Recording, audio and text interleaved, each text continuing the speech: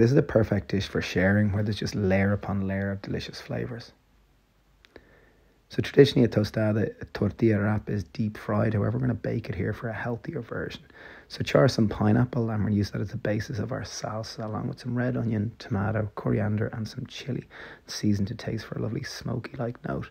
For oyster mushrooms, we're going to cook them with some smoked paprika and tamari. Not traditionally used in Mexican cooking, however, it does bring that umami note. Refry some beans is another basis of the dish and we're going to start to layer on flavour. If anyone does want to learn the fundamentals of plant-based Mexican cooking, we're doing a masterclass tomorrow evening. There's still a few places left. Link in bio to check it out.